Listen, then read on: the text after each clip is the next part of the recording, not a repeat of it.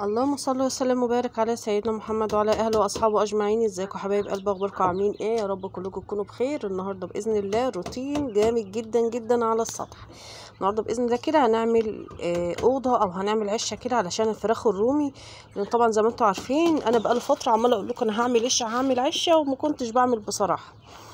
آه بدأت كده إن أنا أعملها وابني وقف عملها لي ما شاء الله ربنا يبارك له يا رب كده ويحميه. وبرده جبنا خلطة كده جميلة جدا وبرده النهارده برده اشترينا كده خلطة جميلة جدا للبط وللفراخ. بس الخلطة دي يا جماعة اللي أنا هوريها لكم دلوقتي أنا عاملاها للفراخ. إنما ديت السر اللي أنا قلته لكم امبارح أو أول امبارح في الفيديو دي كانت العجيرة أو العجينه إهي مطبوخة يا جماعة ما شاء الله اللهم بارك. تمام أنا بعملها للبط جميلة جدا جدا جدا. البط بياكل وبيشبع منها تاني حاجة بديلة للأعلاف. تالت حاجة إن هي كمان بتزود البيض عند البط وفيها نسبة بروتين عالية جدا فيها ذرة وفيها علف وفيها كمان نسبة من كسر الرز والردة. يعني كده ما شاء الله اللهم بارك. بس أنا بطبخ أنا هنا عاملة لهم بالظبط تقريبا كيلو ونص زي ما أنتم شايفين عامل لهم بتاع 2 كيلو. يعني البط هياكل وهيشبع وهيفيد كمان منه. تمام؟ شايفين شكلها عامل إزاي؟ ما شاء الله اللهم بارك. عشان نكمل الفيديو مع بعض. الفيديو بتاعنا النهارده جميل جدا جدا وهوريكم أنا عملت إيه على السطح بس هو محتاج لسه شوية تنظيفات. عاوز أقول لك لو انت أول مرة تشوف القناة يا ريت تنزل تشتركي فيها وتفعل الجرس. وما تنسيش تحط لايك للفيديو كدعم منك للقناه يكون جزاك الله كل خير. بالله عليكم أول ما تشتركوا في القناة كده إن شاء الله الجرس لما تيجوا تفعلوا الجرس فعلوه على الكل ما تعملوهوش مخصص علشان يوصل كل الإشعارات لكل المتابعين وكل حبايبي وإخواتي معايا على القناة. ما تنسوش بقى لايكاتكم الجميلة علشان طبعا ده بيكون الدعم بتاعكم للقناة. عاوزة كل حبايبي كده ما تنسونوش كده في الصلاة على النبي عليه أفضل الصلاة والسلام. وتعالوا كده نخش ونشوف الفيديو بتاعنا النهارده هيتكلم على إيه.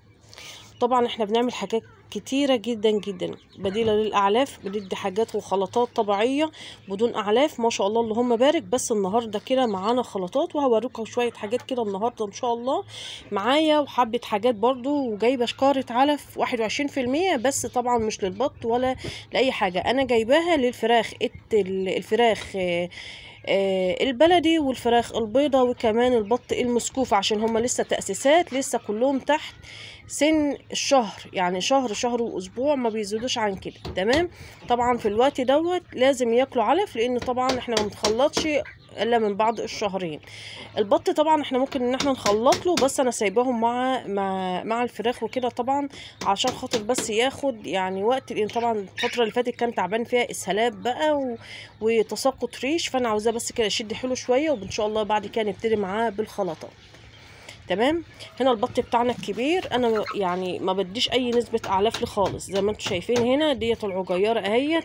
دي كفاية عليه جدا. بحط وجبتين وجبة الصبح اللي هي بتاعه آه بواقي أكل البيت. أي حاجة موجودة عندي خضرة ورق كرنب خس الحاجات دي كلها يا جماعة كلها فيتامين وجواها.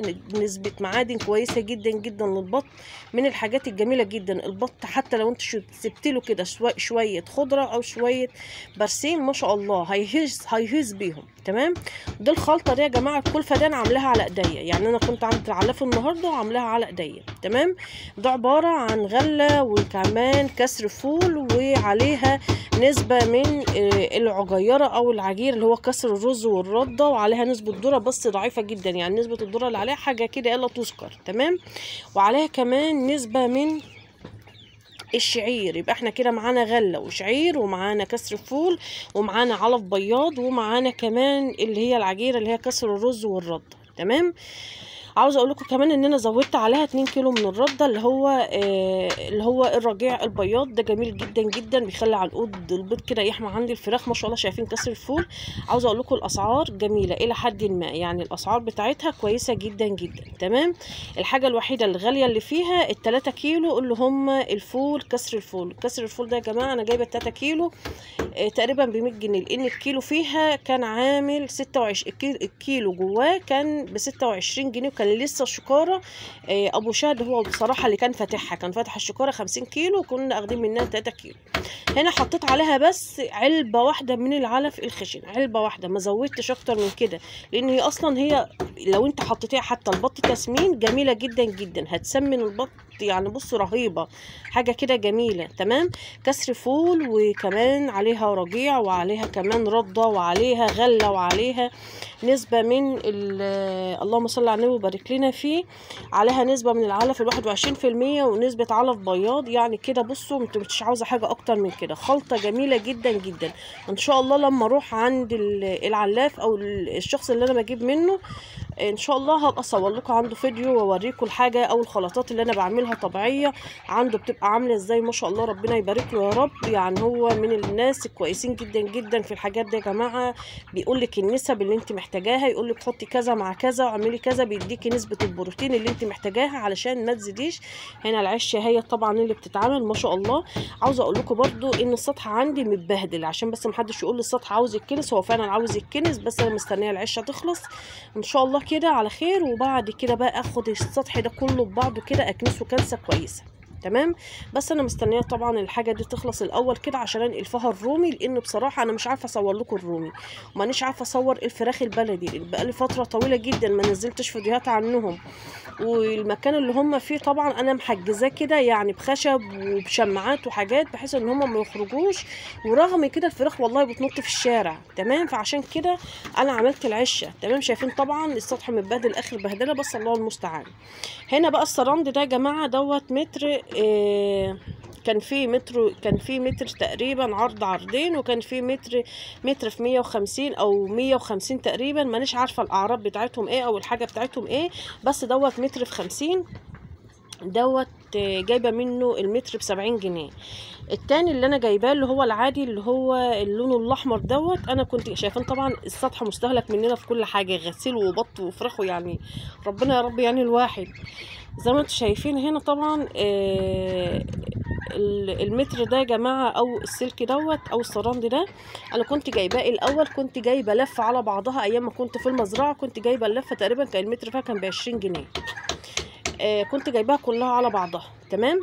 آه طبعا دلوقتي الأسعار اتغيرت والحاجة كلها اتغيرت فأنا جايبة دلوقتي المتر بتاعها بسبعين جنيه تمام؟ في منها اللي هو الواسع شوية ده ب 60 جنيه فأنا بصراحة ما رضيتش أجيب الواسع دوت علشان طبعا خوفه بقى من الفيران أو الحاجات اللي أنتوا فاهمينها ديت فأنا حبيت إن أجيب إيه؟ الصغير تمام؟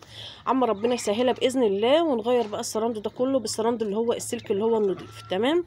هنا زي ما أنتوا شايفين أنا كنت حاطة قفص كده على السطح لأن طبعا عارفين إن أنا مخرجه البط كله بره فجيت النهارده لقيت ما شاء الله كده البط بايت في قلب القفص فسبحان الله. هسيبها بقى هنا ما دام هي واضح كده إن شاء الله تبقى إيه هترقد هنا. تمام؟ هنا الروم اهو زي ما شايفين محبوس يا عيني. بصوا الأماكن أو المكان اللي هو عايش فيها ده مكان صغير جدا جدا. فأنا بصراحة أنا عاوزة أوسع له بقى أماكن بحيث إن هو آه تبقى يبقى المكان واسع عليه المكان بعد كده يقدر إن هو يفرد نفسه فيه لأنه طبعا بقاله فترة طويلة جدا تقريبا ست شهور محطوط في المكان دوت وطبعا المكان ده صغير عليه فكان لازم مكان أوسع علشان إيه ياخد آه ياخد كده ويدي في المكان ويكبر معايا بسرعة. هنا كان زي ما أنتم شايفين مازن ابني مش عاوز يتصور ولا زياد مش ما حدش من عيالي ابدا يا جماعة بيحب إن هو يطلع في الفيديوهات. تمام؟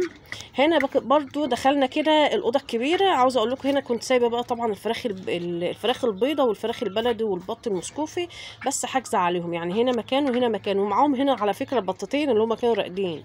فأنا حطيتهم هنا لسه النهارده أول يوم ليهم عشان بس أوسع عليهم. هنا الأوزان معايا كويسة جدا جدا ما شاء الله اتنينات كده ما شاء الله ربنا يبارك. النهارده عمر 28 يوم ما شاء الله اللهم بارك. خلاص؟ آه طبعا إحنا هنا جبنا لهم شكارة العلف اللي أنتوا شفتوها في البداية خالص كده علف واحد وعشرين في المية. وهنا طبعا الفراخ البلدي زي ما أنتوا شايفين والست بطات يعني أنا حاجزة بين دولت وبين دولت. عاوزة أقول لكم دول برضو راقدة معاهم هنا بطة هيت اللي أنا مدارية عليها جوه خالص ديت. حد هيقول المشاهد أنت قلت ما تقعديش البط ومعاه فراخ أو بط بس لازم يكون مقفول عليه يا جماعة. يعني لو أنتوا لاحظتوا هتلاقون هنا قافلة اهوت بصرند وحاطة عليه طوب كده بحيث ما فيش حاجة تعدل البطه جوه. تمام؟ أهو زي ما أنتوا شايفين مقفلة عليها. بطلع كل يوم أحط الأكل والمية وأفتح عليها. تاكل وتشرب وأرجعها تاني مكانها. هو تعب شوية بس في الآخر هاخد نتيجة. الحمد لله ربنا يا رب كده يبارك لنا كلنا جميعا ويبلى بلوتنا كلنا خير. تمام؟ هنا طبعا هربط المسكوفي ما شاء الله اللهم بارك يعني نوعا ما أحسن من الأول وأفضل من الأول بكتير جدا. بصوا النهارده كده الروتين كده على الطيور كلها يعني مش على حاجة محددة أو على فيديو محدد أو حاجة معينة هتكلم عليه. أنا شملت كل الحاجات أو يعني دخلت الحاجة كلها مع بعضها النهارده كده إن الروتين بصراحة يعني كان صعب جدا جدا. ادعوا لي كده ربنا يسهل بإذن الله كده ودورة الفراغ دي آه يعني دورة صغنونة بس إن شاء الله تطلع على خير بإذن الله. وربنا يا رب يبارك لنا ويبارك لكم كده ويرزقنا الخير على قدوم الصالحين إن شاء الله.